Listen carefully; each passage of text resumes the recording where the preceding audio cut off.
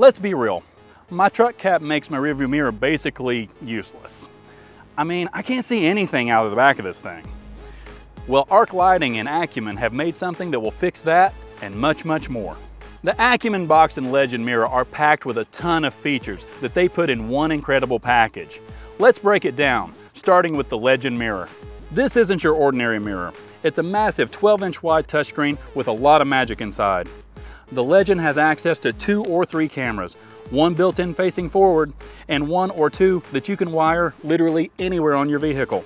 The screen boasts a crystal clear full HD image so you can see what's behind you and what's ahead on the trail.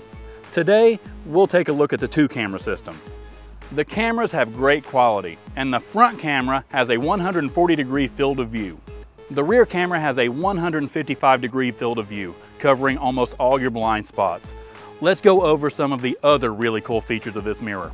You can change cameras on the go from rear to front to split screen. You can also touch and drag to change your vertical view. That's a lot in one mirror, and that's just half the package.